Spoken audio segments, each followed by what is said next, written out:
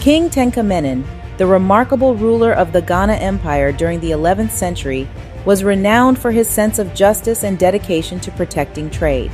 Under his rule, the empire flourished, and its wealth grew exponentially, thanks to its control over gold mines and lucrative trade routes.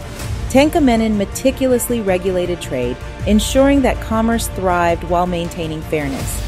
He introduced a unique system where gold nuggets could only be used by the royals, while gold dust was reserved for the general public, maintaining a stable economy. His reign was marked by his devotion to his people's welfare. He rode through the kingdom on horseback every day, listening to their concerns and addressing issues that arose. His commitment to justice and fairness made him a beloved ruler, and his legacy lives on as a shining example of an African leader who prioritized the well being of his people and the prosperity of his empire.